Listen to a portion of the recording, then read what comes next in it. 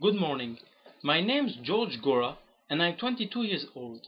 I obtained my bachelor degree in international hotel management at the Institut Vatel Bordeaux in 2010.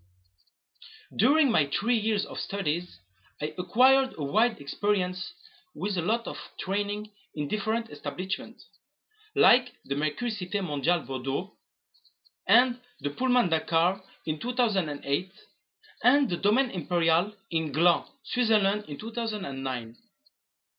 I could define myself as were someone honest and seriousness. I am motivated, I adapt myself to all the situation, and I know how to take my responsibilities. I always look for the most adequate solution in the most complex situations. I can work alone as well as I am a good team worker.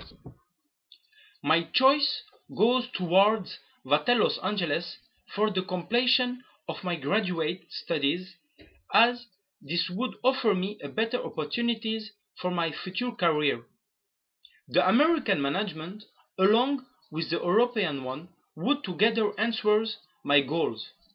I hope that you will approve my demand and hope to hear from you soon.